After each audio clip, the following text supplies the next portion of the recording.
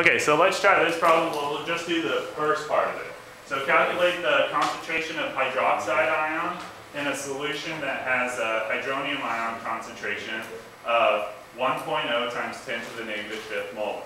So the first thing you need to remember is that Kw equals the concentration of H3O plus times the concentration of OH minus, and that equals 1.0 times 10 to the negative 14. Okay, so everybody's cool with that, right?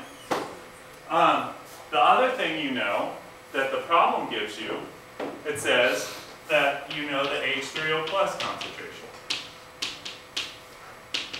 And that equals 1.0 times 10 to the negative negative fifth molar. Okay? So, it asks you, what is that then?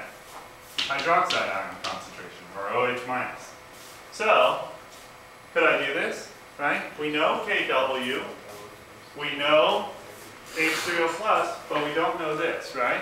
All we gotta do is rearrange this equation. Isolate the variable that we're looking for, right? So the equation is going to convert to OH minus, and we're gonna take Kw and divide both, both sides by H3O plus, right?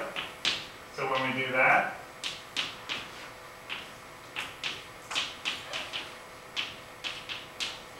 like that, right? So what did we do?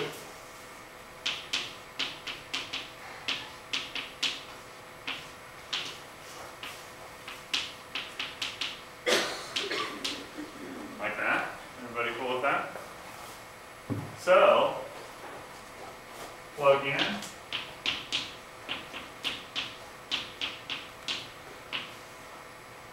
What was the other one?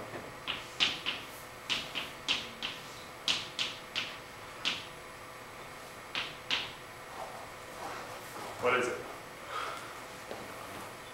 Can you guys do that on your head? One oh times ten.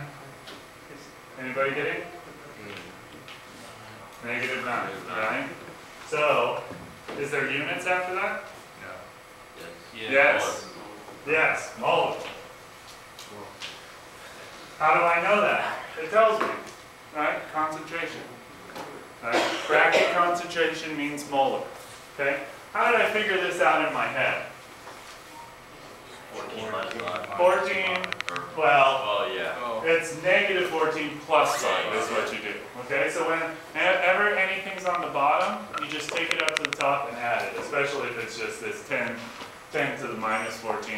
Once these numbers change, then you're going to have to do it in your calculator. Is everybody okay with this? Okay. So um, in a second, we're going to finish this problem up and say, is this an acidic or basic solution? Okay. We'll see.